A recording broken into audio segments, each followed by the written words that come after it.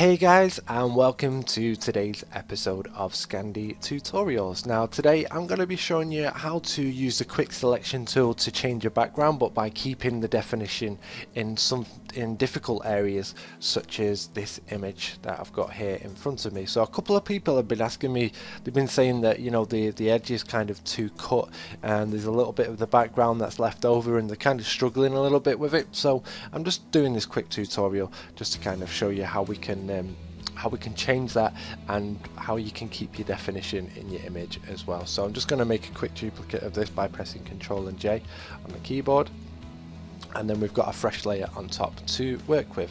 Select your quick selection tool in the top left and make a selection of the whole of the inside of the image like so and don't worry about going outside the lines too much because we can kind of refine it and bring it back in anyway so just make these selections here and then make a selection there. And then we're going to just deselect all the way down this side. So hold alt on the keyboard and you'll see that it changes to a minus and then just run up the edges and it'll just automatically go around like so. Now I'm going to make a couple of adjustments just here and there. I am going to paint this back in anyway so don't worry about trying to get it to go all the way around. Just make a rough selection and then we'll paint it back in in a minute. So I'm just going to scroll in here and then make a deselection of this area. So if I just take my brush size down a little bit and then press alt and then make a deselection like so. Catch this part here and also try and get down there as well without going too far deselection like so and then just bring that part back out there and on the nose as well see if we can just get into the small area there we go. And I'd say we're pretty much good to go there. Just leave that like that. Oh. There we go. And let's just have a look if there's any other smaller areas. So there might be one or two bits that you've missed, but just go around it, just changing your brush size, and then you'll be alright. So I'm just going to make a little deselection here as well. Like so and an even smaller deselection here.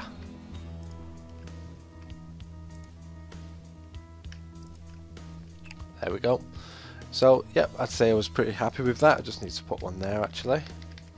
And try and get the brush as big as you possibly can and then use the deselection and it kind of automatically will do the lines for you. So I'll make this bigger and then Alt and then select and it'll kind of just start working its way around without making too many mistakes.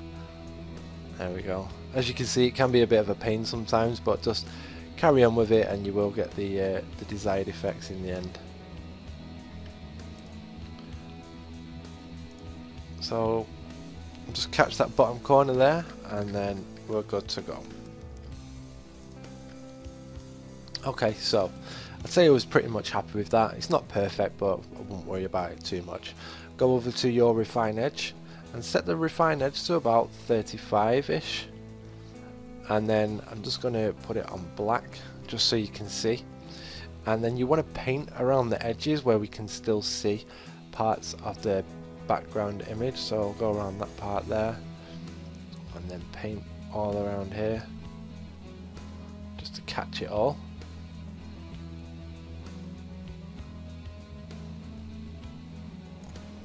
Like so.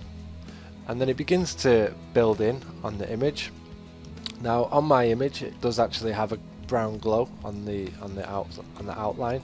So it will look a little bit different but when you can see like that you can see that it is actually how the image is supposed to be. And you can just paint around and kind of bring in any any smaller parts that you do want to kind of add back to the image. So let's go around there, catch this bit as well. And then just build and work your way around until you're happy with the selections that you've made. Um, just going to catch that bit in there as well.